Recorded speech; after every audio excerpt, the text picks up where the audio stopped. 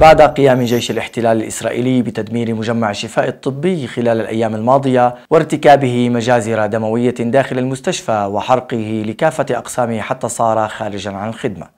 فقد أدى هذا العمل الإجرامي إلى دفع إدارة المستشفى المعمداني إلى فتح كنيسة فيليبوس لاستقبال المرضى والجرحى والتي هي واحدة من ثلاث كنائس في غزة إلى جانب كنيسة العائلة المقدسة وكنيسة القديس بيرفيريوس. رغم عدم ملائمة الكنيسة لظروف المرضى حيث تم تحويل الكراسي التي كان يجلس عليها المسيحيون خلال الصلاة إلى أسرة للمرضى.